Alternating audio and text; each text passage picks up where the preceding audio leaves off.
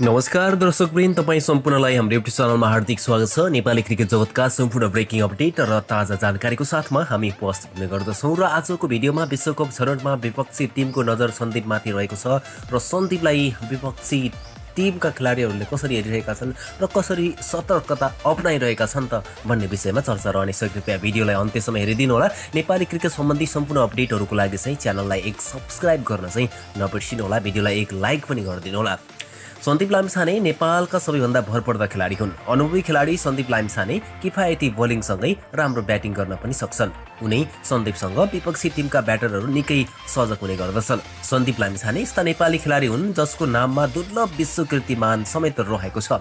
कीर्तिमानी खेलाडी सन्दीप लामिछानेमाथि विश्वकप छनौट खेल्ने विपक्षी टिमको नजर पुग्न स्वाभाविक नै रहेको छ। जिम्बाब्वेमा असार तिनदेखि चौबिस गतेसम्म हुने विश्वकप छनौट प्रतियोगितामा सबैको नजर सन्दीपमाथि हुनेछ।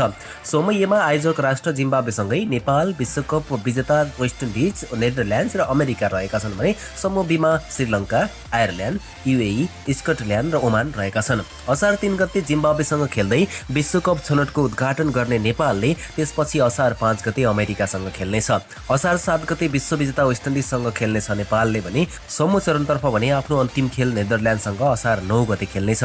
विश्वकप छनौटकै लागि नेपालले दक्षिण अफ्रिकामा अभ्यास गरेर आइतबार जिम्बाब्वे प्रस्थान गरिसकेको छ र जिम्बाब्वे पुगी पनि सकेको छ। गत वैशाखमा काठमाडौँमा सम्पन्न एससी प्रिमियर कपमा पनि सन्दीप प्रतियोगिताको सर्वोत्कृष्ट खेलाडी घोषित भएका थिए। त्यही एसिसी प्रिमियर कपमा ओमान विरुद्ध विकेट लिएसँगै सन्दीपले विश्व कृतिमान पनि राख्न सफल भए। बाइस वर्षीय सन्दीप लामिछानेले ओमान विरुद्धको त्यो खेलमा विकेट लिएसँगै एक दिवसीय अन्तर्राष्ट्रिय ओडिआईमा दुर्लभ विश्व कृतिमान राख्न सफल भएका थिए। सन्दीप लामिछानेले बयालिस खेलमा एक सय विकेट पुरा गर्दै अफगानिस्तानका बोलर रसिद खानको सबैभन्दा छिटो एक सय विकेटको विश्व कृतिमान तोडेका थिए।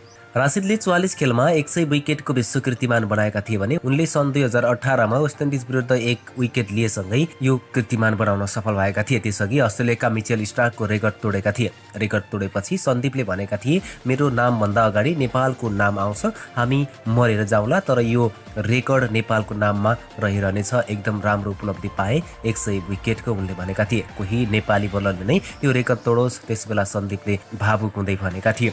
दुई हजार उनासी भदौ एक्काइस गति सन्दीपले आफूलाई बलात्कार गरेको भन्दै नाम परिवर्तित गौशाला छब्बिसले प्रहरी सामु उजुरी दिएकी थिइन् र सन्दीप आफ्नै गल्तीका कारण बलात्कार जस्तो जघन्य अपराधमा मुछिएका पनि छन् र अहिले पनि उनको मुद्दा चलिरहेको अवस्था चाहिँ छ र यस्तो अवस्थामा पनि उनले उत्कृष्ट क्रिकेटहरू खेलिरहेका छन् र अदालतमा उनको मुद्दा चलिरहेको छ बलात्कार आरोपको मुद्दाको पेशी सरिरहेको छ र आगामी असार उन्तिस गतेसम्मलाई सरेपछि सन्दीप दक्षिण अफ्रिका प्रस्थान पनि गरेका थिए र जिम्बाब्वेमा पनि उनले फ्रिडम भएर खेल्न पाउनेछन्। सन्दीप यस्ता खेलाडी हुन्। छोटो समयमा नै धेरै उपलब्धि हासिल गरे। धेरै थोकहरू पाए र विश्वका प्रायः सबै फ्रेन्चाइज लिगहरू पनि उनले खेलेका छन्।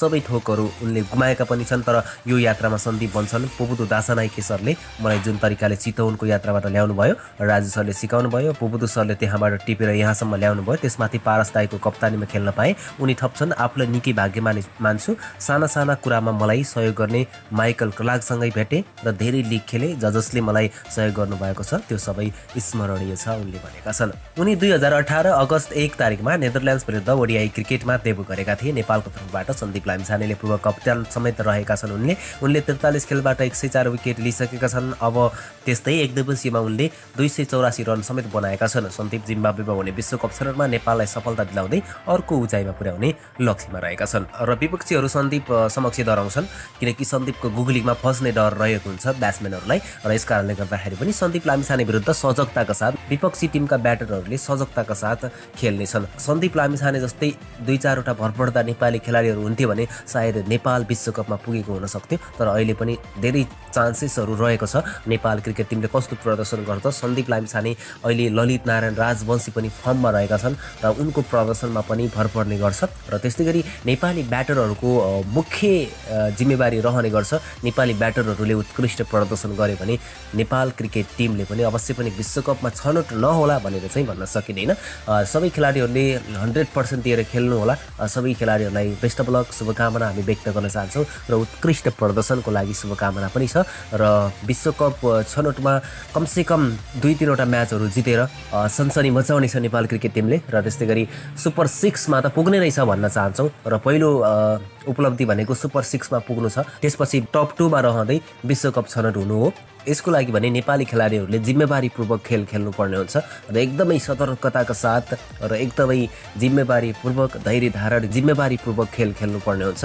नेपालको क्रिकेटमा जहिले पनि ब्याटिङमा नै समस्या रहने गर्छ र ब्याटिङ इस्यु रहेको छ। बलिङमा भने कुनै इस्यु नै हुँदैन। खेलमा जे पनि हुनसक्छ ब्याटिङमा बलिङमा इस्यु पनि हुनसक्छ।